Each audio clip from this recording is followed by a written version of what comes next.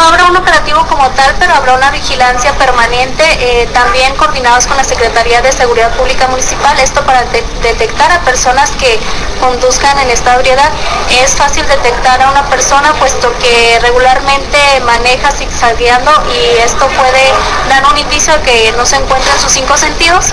Eh, será sujeto a una retención y a una prueba después se le aplique la prueba del alcoholímetro y con ello determinar si la persona se encuentra en algún estado de ebriedad. O sea,